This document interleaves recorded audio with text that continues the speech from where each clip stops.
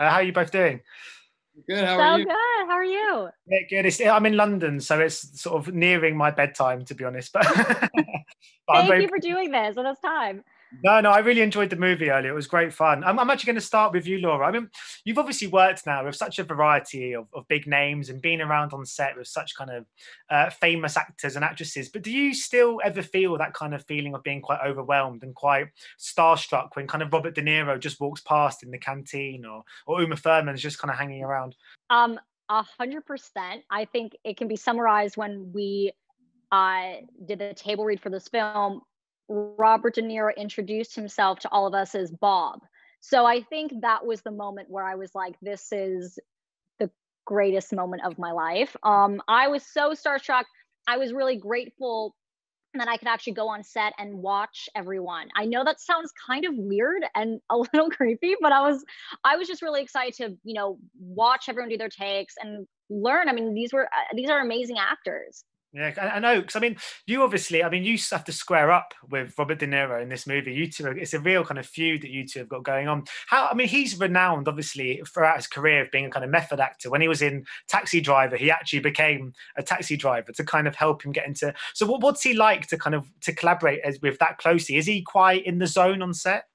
He is, but I, I, think that he's also just like that as a person. He's he's not um he's a man of a few words, I'd say, at some points, and I think he's he keeps to himself a lot and he's just a very humble person and um, i think working with him that's the main thing that i took away and and main thing that i actually look up to and look forward to in, in my life and i i want to strive to be more like that and be more humble as as best as i can. Yeah, and uh, uh, Oakes as well. Just wondering because obviously your character is rounded, which obviously has chores and is grounded in the movie. I'm just wondering if you've ever been rounded in real life, if you've, if you've ever done anything at home that you think's worthy of being rounded.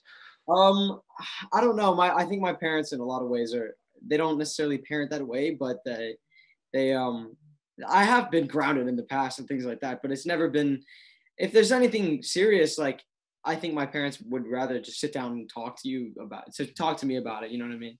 So I don't know if I've really ever done anything that's gotten me fully grounded, but Uh, and Laura, my, my final question was to you. I was just wondering if, about sort of keeping your feet on the ground as a kind of rising star in the industry, because I noticed on Instagram you've got like almost 10 million followers, which is just kind of insane. I just wondered how, because that side of it, I mean, we, they, we obviously we always sort of uh, learn and teach of young actors about um, acting and being on set, but the responsibility that must come with having such a big fan base must be a whole added aspect that you must have to to shoulder as well. Totally, it's funny. It's I think for me, it's just important to always be around family and people who help keep me grounded. Um, when I was doing Austin Ally, I was still going to high school and actually going to an actual high school. And for me personally, that was a really important experience. I'm going part time to college now. I will graduate when I'm 35. But I feel like for me, what keeps me grounded with all the uh, entertainment aspects of my life, the social media aspect of my life, um, and the, you know, somewhat strange aspects is having any kind of normalcy and remembering that it's really easy to think you're in this bubble and that's the most important thing in the world but there's a whole world out there to learn about and that you should explore Hmm, brilliant. Well, you've got about 10 million Instagram followers more than I do. So I'm no, but thank you so much, guys. Much appreciated. Best of luck with the rest of the junket. Bye bye.